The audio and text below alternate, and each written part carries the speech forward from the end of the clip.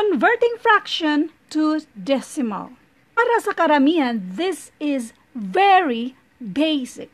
Pero kailangan nating tulungan yung iba na nakalimot nito or yung ibang nahihirapan kung paano ito gawin.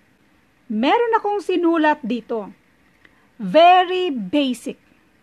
Kapag di niyo ito ma-perfect, triplihin o sobra pa ang i-effort niyong pagre-review kung pangarap niyo talagang pumasa. Kasi mas mahirap po ang actual na exam may mga vocabularies pa na di mo alam kung saang planeta galing. Kaya don't give up.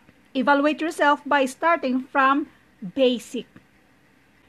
Bago natin ito isa-isahin, if you are 18 years old and above, at isa ka sa nalilito with regards to converting fraction to decimal, share your own experience sa mga mas bata sa inyo or yung mga nag-aaral pa ngayon and advise them na mag-aral ng mabuti para hindi sila mahirapan pagdating ng panahon.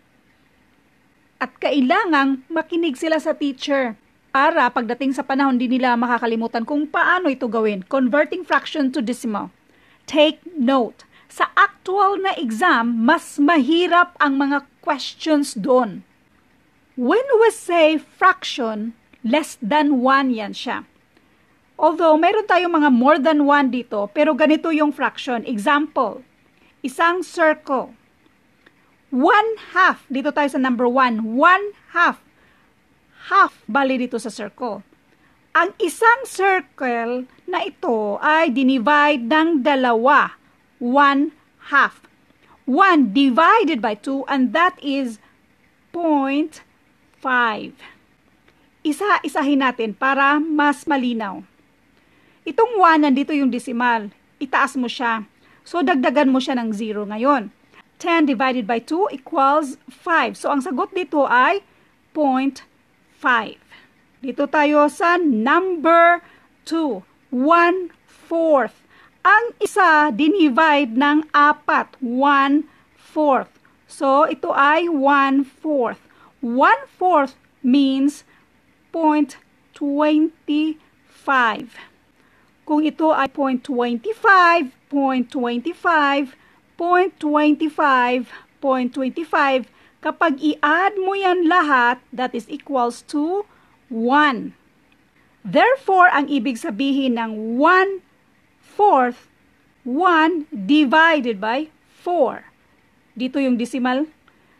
Tapos, dagdagan mo ng 0. 10 divided by 4 equals 2. This is 8. 2, tapos isa pang 0, 20 divided by 4, that is 5. So, 0.25. I-delete muna natin to. Dito tayo sa question number 3 dito. Just in case hindi ko siya na-explain ng maayos yung 1 and 2, so we have 10 examples here. Kaya panuorin from beginning to end. 2 fifth is simply means 2 divided by 5. Nandito yung decimal ng 2. So, kopyahin mo lang sa taas. At mag-add ka ng isang 0. 20 divided by 5 and that is 4. 4 times 5 equals 20. So, ang sagot dito ay 0.4. Para mas lalong maintindihan, mag-divide tayo ng 5. Okay? So, 1, 2, 3, 4, 5. 2 fifth means ito. 1, 2. That means 2 fifth. So, 1 divided by 5, then this is the decimal point. Mag-add tayo ng 0. 10 divided by 5 equals 2. 2 times 5 equals 10. So, each of this, 0.2. Lahat siya, 0.2, 0.2, 0.2, at 0.2. 2 fifth means 0.2 plus 0.2 that is 0.4. Kaya ang 2 fifth that means 0.4.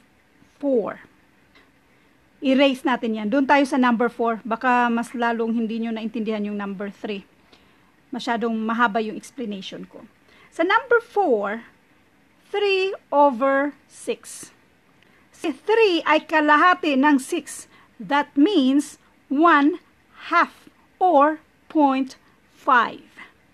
Para sa ibang nagtataka, paano naging 1 half si 3 over 6? Marami tayong mga videos about para masimplify itong 3 over 6. Greatest common factor ang hanapin. Ang greatest common factor ng dalawa sa 3 and 6 ay 3. So, 3 divided by 3 equals 1. 6 divided by 3 equals 2. Or, diretso ka na lang. Pag sinabing 3 over 6, 3 divided by 6. Nandito ulit si decimal. So, kopyahin sa taas. Dagdagan ng isang 0 para ma-divide natin. 30 divided by 6 and that is 5. So, ang sagot dito ay 0.5. 3 over 6 is the same as 0.5. Number 5. 1, 8. 1 8 is the same as 1 divided by 8 or 1 divided by 8. So, nandito yung decimal, kopyahin sa taas, dagdagan ng isang 0 para maging 10 at ma-divide natin sa 8. 10 divided by 8 equals 1. 1 times 8 equals 8. 10 minus 8 equals 2. Dagdagan ulit ng isang 0.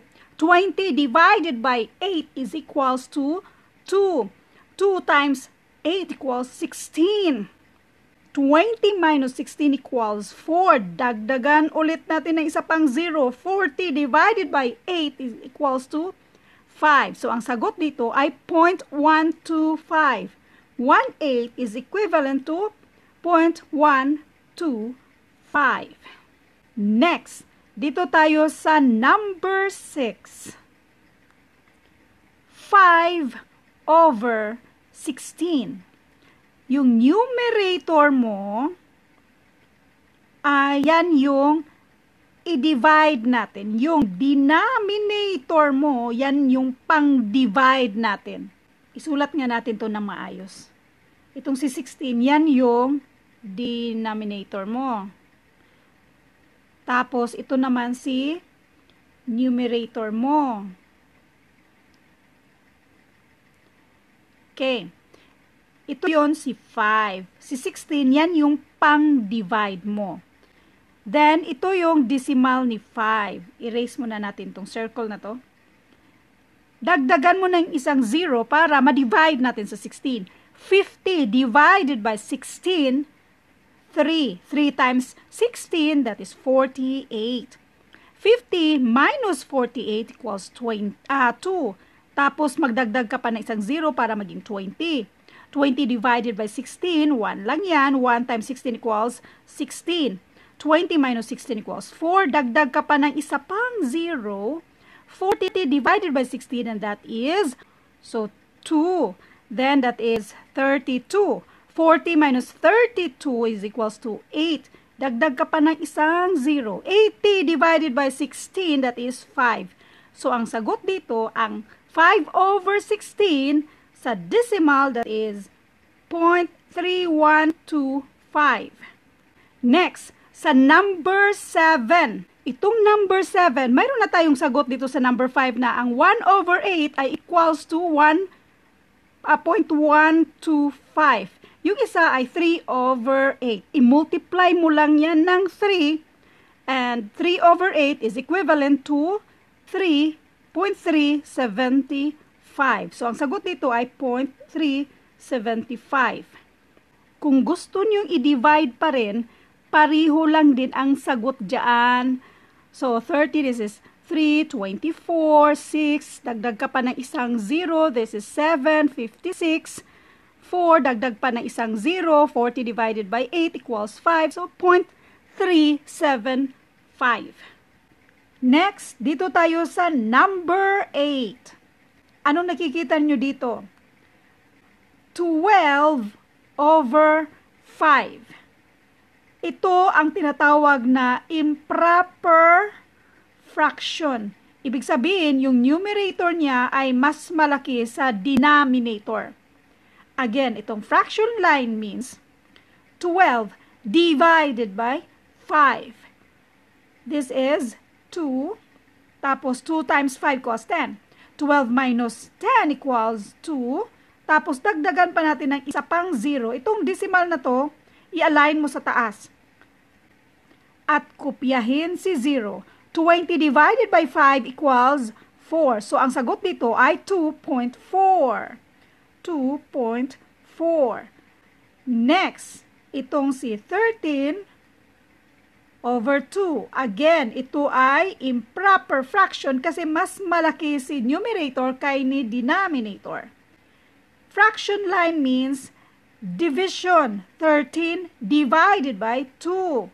So this is 6. 6 times 2 equals 12. 13 minus 12 equals 1. Tapos magdagdag tayo ng isa pang 0. Pero bago ka magdagdag ng isang 0, itong decimal na to, kopyahin mo sa taas. 10 divided by 2 equals 5. So, ang sagot dito ay 6.5. Next, itong 4 over 5. 4 over 5. Ating balikan itong number 3 natin na 2 fifth. Ang 2 fifth ay 0.4. Ang 2 fifth ay equivalent ng 0.4. So, kung 4 fifth, that means 0.8. So, ang sagot dito ay 0.8. Isa-isahin natin ha. Ulit-ulit. So, 4 over 5 means 4 divided by 5. Ito yung decimal dito. Dagdagan ng 0 para ma-divide natin sa 5. 4 divided by 5 equals 8. 8 times 5 equals 40. So, 0.8.